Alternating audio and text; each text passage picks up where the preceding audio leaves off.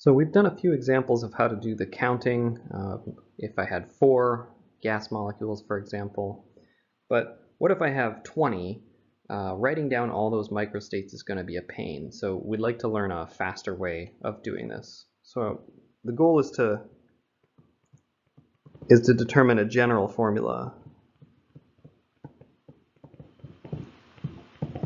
for the number of microstates.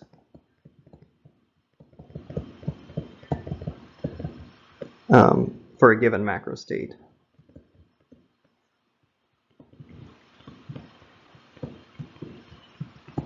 And I'm going to write it like this. So n choose n1. So n is the total number of particles.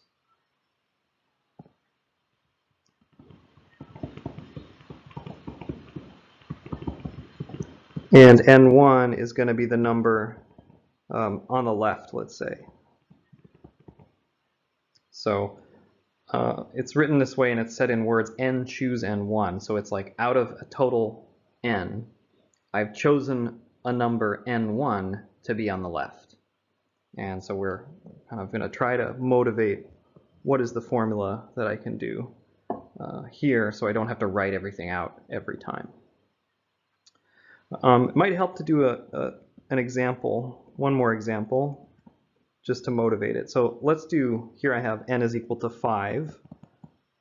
And let's say I'm picking n1 equal to 3. So I want to know the number of possible ways I can choose 3 from 5. So that's going to be 5, choose 3. So I drew one of the microstates above, but uh, how many others are there? If you think about it, um, in order to pick three, I have to pick one, and then I have to pick another one, and then I have to pick another one. So how many ways do I have of picking the first one? So I like to envision all five of them kind of sitting out, and I'm just picking one to be on the left. So if there's all five sitting there, I have uh, five ways, five choices for picking the first one. Now how many ways to pick the second one? How many ways to pick the second one? I already chose the first one, so now there's only four left on the table. So there's four ways of picking the second one. And then how many ways to pick atom number three? Well, there's three left, so five. Oh, there's five times four times three. So what's the total number of ways?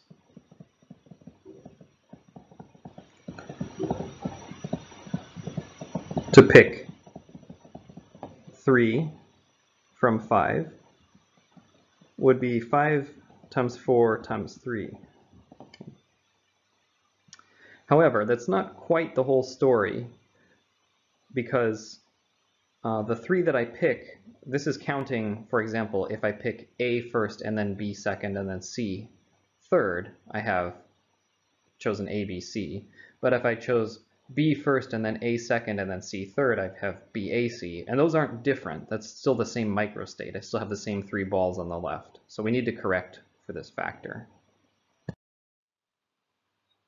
So we're trying to work out a general formula for how, how many microstates lead to a given macrostate. And we're doing this example 5 choose 3, so how many ways can I choose 3 and put them on the left side of this container from 5? We said there was five ways to choose the first one, and then there's four ways to choose the second one because one was already taken, and then there's three ways to choose the third one because the other two were already taken. But this is not the whole story. Um, if I have ABC on the left, is uh, that's the same microstate as if I chose B first and then A and then C, or C first and then A and then B on the left. So I need to account for this fact that I'm overcounting. So I need to divide by the number of ways that I can uh, sort of permute A, B, and C. And if you think about it, there's actually six ways of doing this. So A, B, C, let me write them all out. So those are all the permutations of ABC. So any of those all lead to the same microstate, same microstate. So I should divide by, I'm overcounting by this factor. I'm overcounting by a factor of 6. Turns out to be 3 factorial. So 3 factorial is 6. And so this is now uh, a better formula that doesn't overcount. You can make this a little fancier.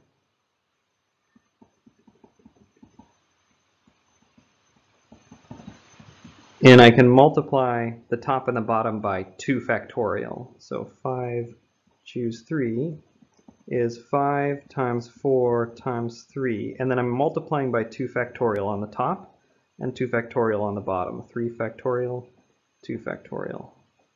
And the reason I did that is because the top is now 5 factorial and the bottom is 3 factorial times 2 factorial.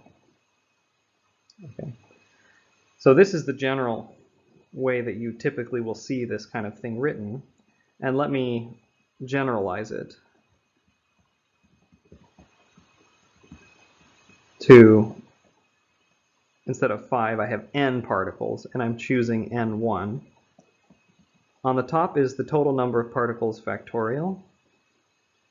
On the bottom is n minus n1 factorial times n1 factorial. So this is the total number, this is the total number of ways that you can achieve a certain macro state. Um, total number of microstates for a given macro state. Okay, so we've developed this formula kind of by example that this is the way to choose n1 objects from a group of capital N given by this formula. And this has a name, which is the binomial coefficient.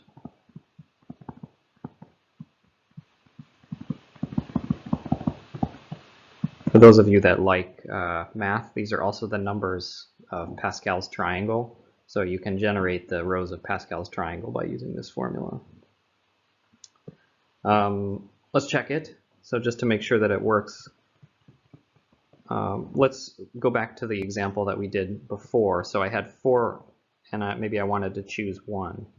How many ways were there? Remember, the example we did, there were four, so let's make sure it gives the right answer. That's 4 factorial over uh, 4 minus 1 factorial times 1 factorial. So that's 4 factorial over 3 factorial times 1 factorial.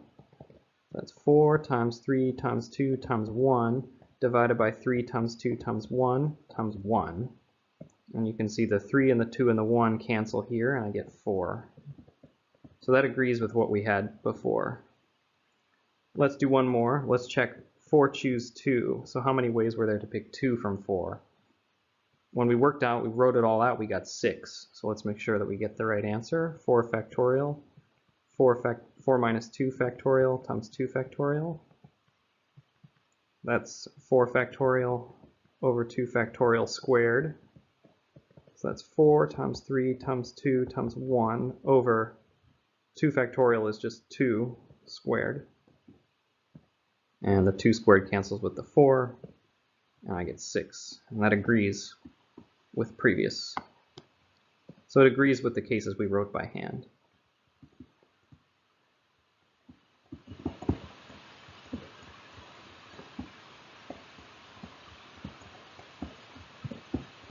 So now you can use this formula to calculate the probability of, you know, if you have 20 atoms or 100 atoms or uh, you know, 1,000 atoms, what's the probability that they're all on the left? What's the probability that they're equally distributed? And so on.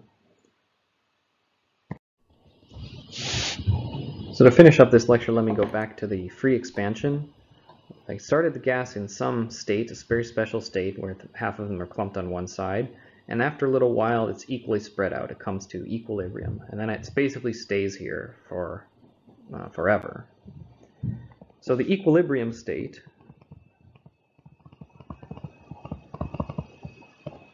which is where it no longer changes, is a 50-50 split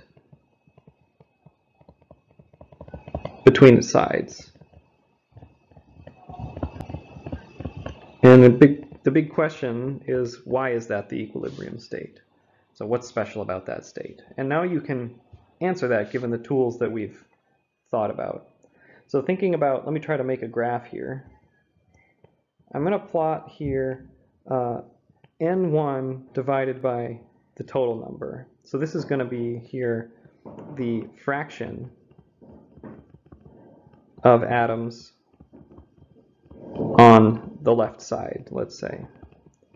And then the y-axis is going to be the multiplicity, omega, which is the number of ways that this can be achieved.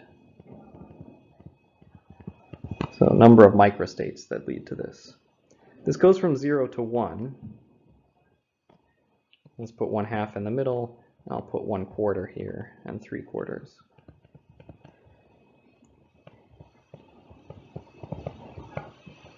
Okay. Uh, for four particles, we worked it out. Um,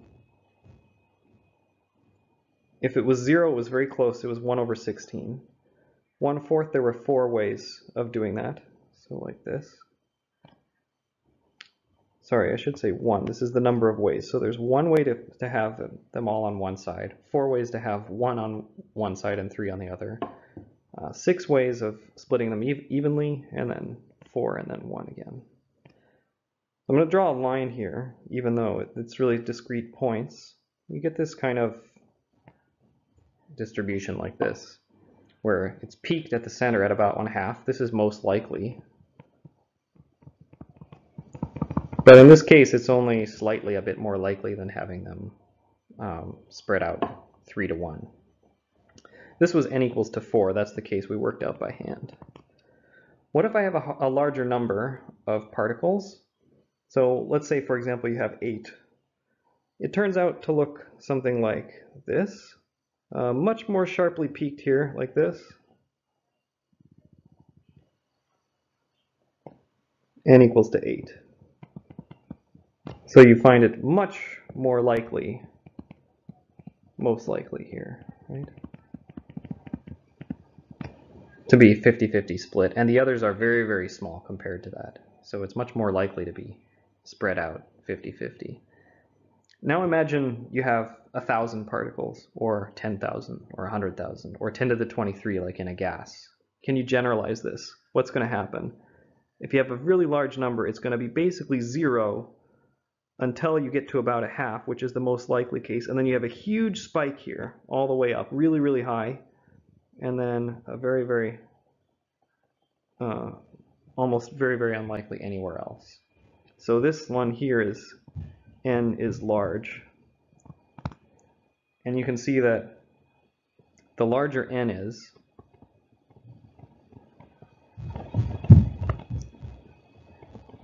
the equilibrium state or the probability that the atoms are equally spread out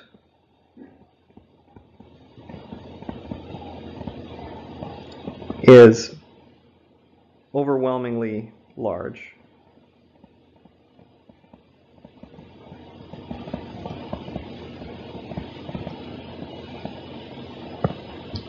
So let's answer the question now, why is this the equilibrium state when they're 50-50 split? It's because it's overwhelmingly likely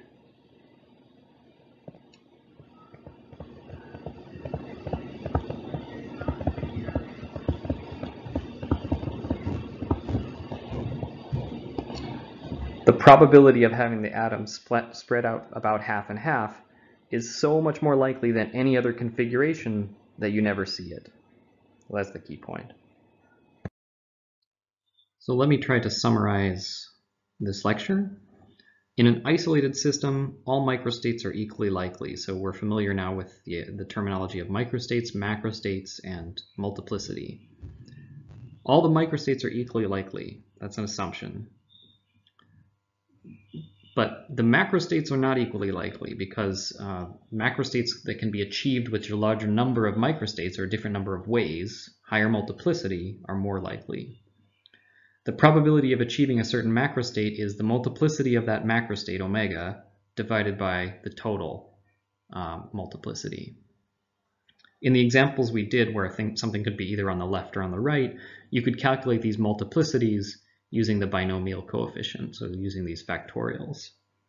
And then the claim, the amazing claim is that if you have a large number of particles, like in a gas, 10 to the 23 particles, um, one of these states is overwhelmingly likely, by far most probable compared to any other state. And that's what we call the equilibrium state. So because it's so likely for the gas to be in that equilibrium state that it will eventually end up there no matter where it starts. So in the example we did, the equilibrium state is where the gas molecules are equally spread between the left and the right. And that is by far the most likely situation that the gas will find itself in. And it's so astronomically likely that you never see any other state. If you started in some other state, it will eventually end up in this equilibrium state just because it's so likely. So we have now this connection between probability and statistics and the second law of thermodynamics, why we only see certain things happen and not the reverse. It's just because they're so ridiculously unlikely that we never see it. So now we got to go to entropy. We have to think about how does entropy fit into this picture, and that's what where we'll be going next.